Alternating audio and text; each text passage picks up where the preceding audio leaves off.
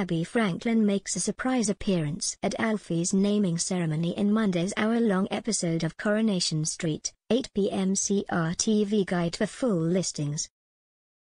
As Imran, Toyah, Kelly, Nick, Leanne and Adam gather for Alfie's naming ceremony, Abi enters and grabs the opportunity to take some pictures of her son. Later, she secretly meets up with Matty, an old contact, and handing him a couple of envelopes, orders him to work his magic. What is she up to? Fiz meets up with Phil and his friends, Graham and Angela, but the evening doesn't go well when Graham recognizes Fiz from her trial and explains that he was the solicitor for the prosecution. A gutted Fiz confides in Tyrone how she's never told Phil about her crazy serial killer ex-husband in case he ran a mile. Will she pluck up the courage to tell Phil the whole truth, and what will he make of it?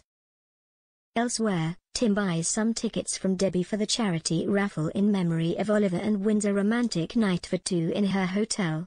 While a delighted Sally packs for her romantic night away, Tim orders some erectile dysfunction tablets, ignoring the warning about heart conditions. Will Sally catch him in the act? Mrs. Crawshaw tells Daniel that a permanent teaching post has come up and she'd like him to apply for it. David and Shona break the news to Max that he will be attending a pupil referral unit for a year. Meanwhile outside the flower shop Nicky begs Ken and Tracy to cut Daniel some slack.